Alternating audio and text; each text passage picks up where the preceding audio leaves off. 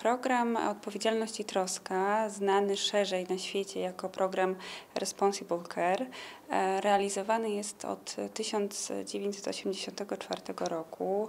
E, narodził się e, ten pomysł w Kanadyjskim Stowarzyszeniu Przemysłu Chemicznego. Potem dość szybko poprzez Stany Zjednoczone dotarł do Europy. E, I w Polsce realizujemy ten program od 1992 e, roku, wtedy kiedy Polska Izba Przemysłu Chemicznego e, wstępowała do struktur Europejskiej Rady Przemysłu Chemicznego.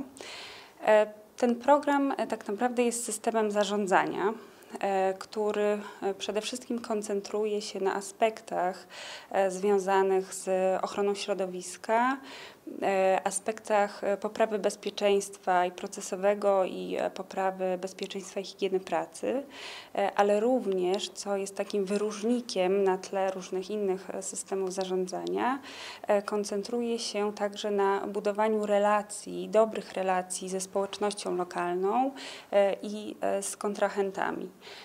E, jaką rolę odgrywa ten program? On tak naprawdę jest takim, e, takim namacalnym e, znakiem tego, że przemysł chemiczny realizuje ideę zrównoważonego rozwoju, czyli mm, taki zbilansowany sposób, zrównoważony sposób podchodzi do trzech takich głównych aspektów: aspektu społecznego, aspektu ekonomicznego i aspektu środowiskowego.